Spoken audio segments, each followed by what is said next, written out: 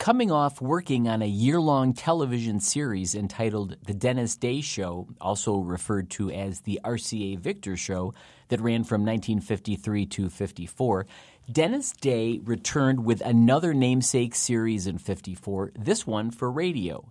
In June of 1954, it was announced that the distributor of the Nutrilite food supplement product was going to enter the world of radio advertising by sponsoring its first show. The new series was to feature Dennis Day in a half hour music variety format. The Dennis Day Show, sometimes referred to as the Nutrilite Show, premiered September 19, 1954, with guests Rosemary Clooney and Jimmy Durante. Each week generally featured two guests, one male and one female.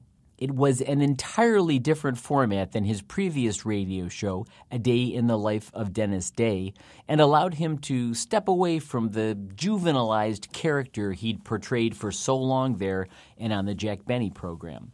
Robert Armbruster and his NBC Radio City Orchestra provided the music, and Jimmy Wallington took care of announcing details. Fred Levings was the director and producer. Dennis Day's last headlining radio series lasted until March 1955.